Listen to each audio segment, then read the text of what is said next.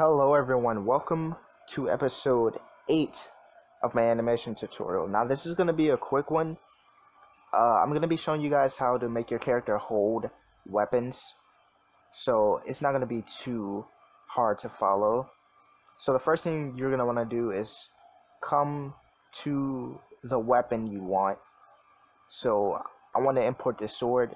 Just bring that in to uh, into Moho and uh, we're gonna put this in a group folder because I like putting uh, things, well, images in group folders before I resize them and everything.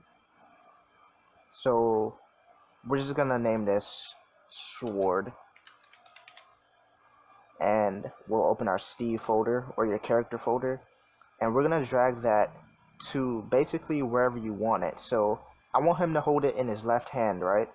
So that's his backhand in this case. So I'm going to drag that above the backhand. So drag this sword folder above the backhand. And we're not going to color it. You can if you want. But yeah, just drag it there. And actually, we're going to change the angle of this. So come over here to transform layer when you have the sword folder selected and we're just gonna rotate that move it over here make it a little bit bigger. And just angle it over his hand a little bit. So I think right there is fine. So now uh, when you have the sword folder selected come up here to bind layer and just bind that to your hand bone. Or your yeah your backhand bone. If you want it in the other hand, you would put this sword folder or whatever weapon you want.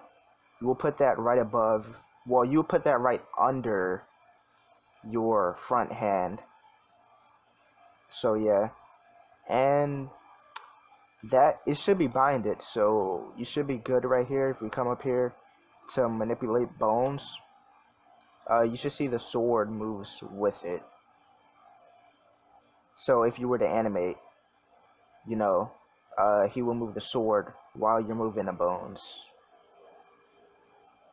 And that's pretty much just uh, a simple tutorial on how to make your character hold weapons or anything else you want it to hold.